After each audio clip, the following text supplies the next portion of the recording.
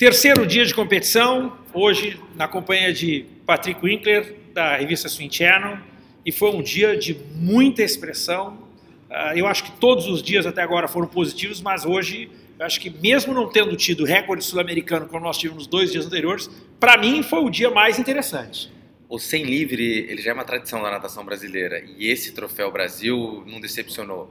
O pessoal para para ver o 100 livre. A arquibancada hoje estava mais cheia que os outros dias, então realmente é uma prova de atenção total. A prova não... de ouro, a prova de ouro da competição, porque ela varia quatro vagas pros, pro, automáticas para o Pão Pacífico. É o único nadador que terminou a prova está classificado. Todos os outros nadam e não sabem se vão ao Pão Pacífico, mas os quatro já podem carimbar o passaporte. E aquela expectativa de quebrar a casa, né? 48 para 47. Quem vai quebrar, quem vai quebrar e não decepcionou aí, tanto eliminatória quanto final. Eu, eu acho que, precisa, que até para as pessoas entenderem, os 100 metros nado livre, quando você tem dois nadadores para 47, mesmo o tempo do Spajar ter sido feito pela manhã, e até o, o sexto colocado da prova ter feito na casa do 48, o Brasil não está só bem para o 4 por 100 livre do Pan Pacífico, como eu acho que é um potencial muito forte de medalha em Tóquio 2020.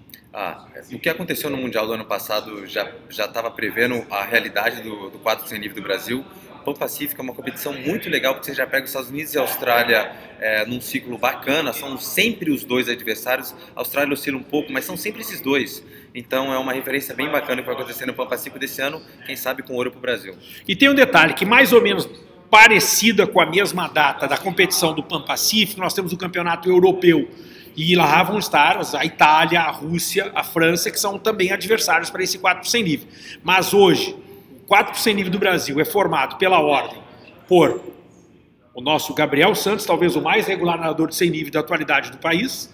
O segundo nadador é o Pedro Spajari, tendo piorado um pouquinho em relação a amanhã, 48,01. O terceiro nadador é a grande surpresa do dia, o Marco Antônio Júnior, que é natural de Andradina, mesma cidade de Ricardo Prado. E o quarto nadador é o Marcelo Queregui. O veterano Marcelo Queregui. Uh, Marcelo Queregui virou o veterano da equipe. Então é uma coisa muito interessante. Nós ainda assim ainda deixamos mais dois nadadores na casa do 48. Simplesmente Bruno Fratos. Bruno Fratos que foi o mais rápido, com 22,47 primeiros 50 metros. E olha, gente, Bruno Fratos não nadou mal, não, hein? 48,68 e apenas 18 centésimos acima do melhor dele. Ou seja, realmente um revezamento muito forte, um revezamento que vai muito bem. E eu quero falar um pouquinho também por que, que o Pedro Spajari perdeu a prova.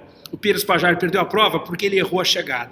Na hora de tocar na parede, ele levanta a cabeça antes de tocar a placa. É muito mais do que os três centésimos que ele perdeu a prova. É, mas o Gabriel, os últimos 25 deles, geralmente é bom. Né? Ele tem um, um final de prova de 100 livre muito bacana. O Keregini também. O Keregini também. O Gabriel também foi a é. melhor saída, a melhor é. velocidade de reação. Estava na liderança na altura dos 15 metros.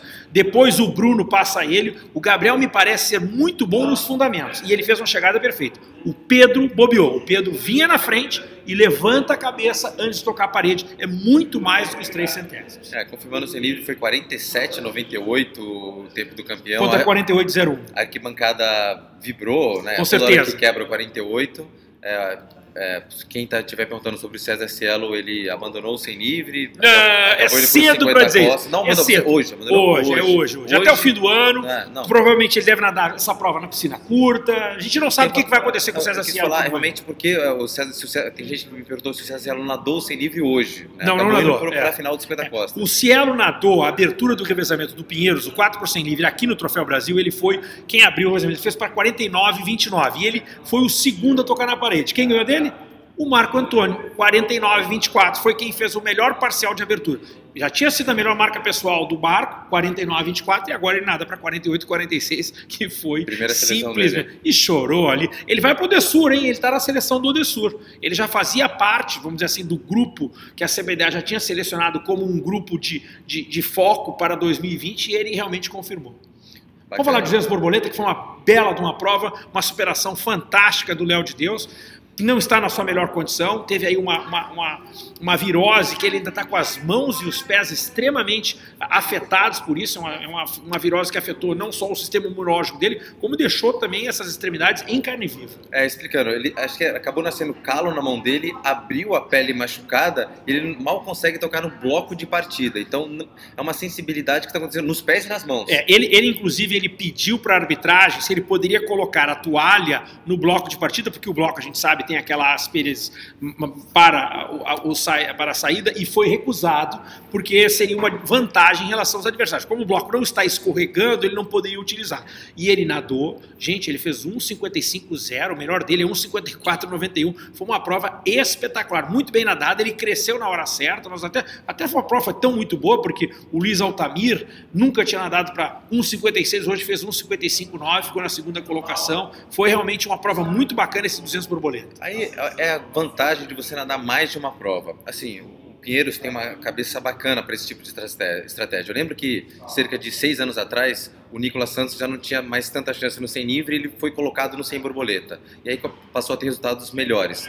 No caso do Luiz Altamir, o 200 e 400 livre, o Brasil vive um momento de crescimento. 200 e 400 livre, a situação hoje tem muita gente melhorando. E o 200 borboleta ele sempre nadou bem. E justamente agora ele voltou a, a pôr o 200 borboleta como topo da pirâmide para ele como uma das principais ah, provas. Ah, mas eu, eu acho que o Luiz Altamir faz uma grande competição. Ele fez um 47,5 ontem, gente, 200 ah. livre.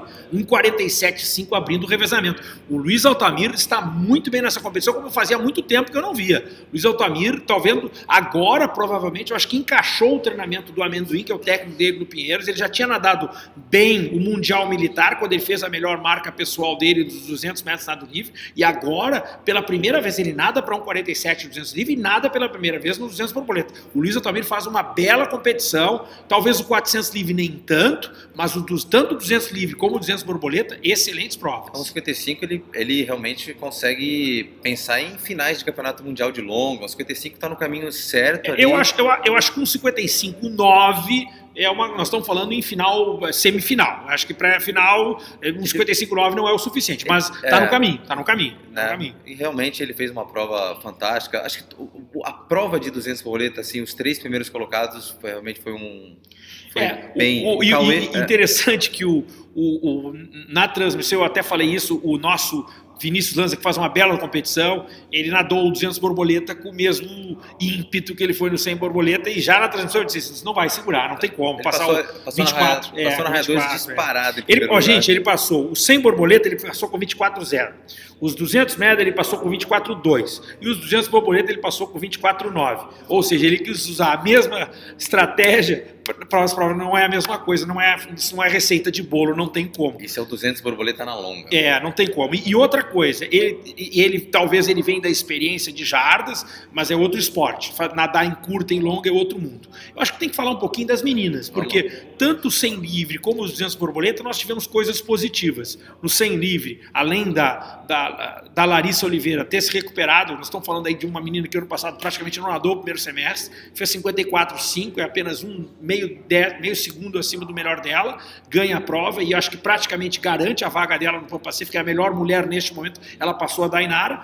E nós tivemos a primeira vez a Rafaela Raulit, que ficou em quarto, mas nada pela primeira vez abaixo dos 56 segundos, ela fez 55,9. E os 200 borboleta, acho que é legal falar da Giovana Diamante, que ela já tinha melhorado a prova do 100 borboleta, ela foi terceira colocada, melhorou o 100 borboleta nas eliminatórias e nas finais, e agora melhorou os 200 borboleta na eliminatória e na final, ou seja, a Giovana Diamante, acho que também, que é a namorada do Luiz Altamir, faz uma boa competição, um bom resultado. É, eu acho que é legal falar que no 100 livre, para quem acompanhou a prova, a Larissa ganhou disparado na frente, muito na frente, assim, foi meio corpo acima da na frente da segunda colocada.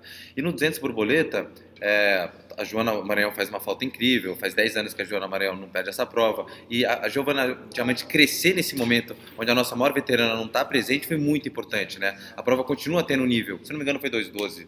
2,12. 2,12. É. Ela, ela, ela, tinha feito 2,13 1 pelas eliminatórias, que era o melhor dela, e baixou agora para 2,12 0, alguma coisa assim. É, continuando, o dia teve as provas não olímpicas, né, de 50 costas e 50 peito. Os favoritos venceram.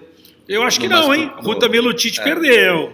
Então, a Milutite perdeu uma saída fantástica, fenomenal, mas a parte nadada da Jennifer é, muito boa. A Jennifer, eu queria só ver a gente nadando sem peito com o mesmo ímpeto que ela nada 50 peito, ela se nadadora para um 6 e não para um 8. É, nos 50 costas, o Guido hoje ele tem uma supremacia nessa prova, né? O Guilherme Guido. É o mesmo pódio do ano passado. Guido Fantoni e, e Guilherme Baceto é o mesmo pódio do ano passado. Agora, o Guido é uma coisa que, ao, ao contrário da Jennifer, o Guido já faz um, um posicionamento. O Guido sonha em ir para Tóquio 2020. Então, ele tem uma visão muito crítica com relação a ele. Ele mesmo disse: eu estou treinando para os 100 costas. Então, o meu 50 costas, ele não sai como tem que ser, porque eu não me foco tanto para a prova dos 100 costas. No último Mundial costas. de longo, ele foi finalista no 100 e não foi no 50. É, acho é, é fantástico é, esse estado. É, fantástico. É o que a gente quer, é o que a gente quer. E ele hoje disse de novo, na entrevista dele que deu para a televisão, para o Sport TV, ele, ele ressaltou: eu estou muito mais preparado para nadar a prova dos 100 costas do que os 50 costas. O ano passado, do, do, o pódio do ano passado foi o mesmo desse ano. O Guido, o Fantoni e o Baceto tanto o Guido quanto, quanto tanto o Fantoni quanto o Baceto melhoraram suas marcas. E o Guido, que no passado tinha sido 24,72, agora foi 25,00. O foco dele é a prova de 100 metros Santo Costa, que acontece na sexta-feira. É, no 50 peito é um pouquinho de loteria, mas o João Gomes acabou chegando dois centésimos na frente do... Eu acho que foram três, não foram? Dois centésimos, é, 85, 87. Aliás, eu achei que o João, o Felipe estava na frente, eu achei que a chegada do João foi mais impetuosa, foi mais agressiva. Eu achei que o Felipe Lima ia ganhar, mas a chegada do João foi mais impactante dois centésimos é muito é, pouquinho. Aliás, dois centésimos, tanto para o João bater o recorde de campeonato, como de vitória em, em relação ao Felipe Lima. Aí 50 costas a gente sentiu falta da melhor nadadora do Brasil, né, Tiane Medeiros. Com certeza. faz parte da competição, acaba tirando um pouco do glamour, foi vencido pela estrangeira, pela holandesa. Kira Tussan. Vocês, aliás, eu vou tentar buscar esse vídeo. A Kira Tussan, ela faz um movimento interessante. Quando ela entra na água, ela faz, ela tira o braço ao contrário e faz isso. Ou seja, quando, em vez de ela puxar para a braçada normal, ela puxa o braço ao contrário e sobe. Ela, ela faz um movimento diferente que eu não tinha visto ainda no alto nível e ela fez muito bem. Muito para fora d'água também. Ela fez 28,11 foi o tempo dela, ganhou ah, na prova toda, até a Andrea Berrino, a Argentina, chegou próximo dela, e a menina, a nossa Fernanda Goege, terceira colocada, nadou para 28 mais uma vez. Gente, acho que é isso, hein? Olha o nosso horário. A gente volta amanhã. Tamo junto, hein? Troféu Brasil, nota 10. Até lá.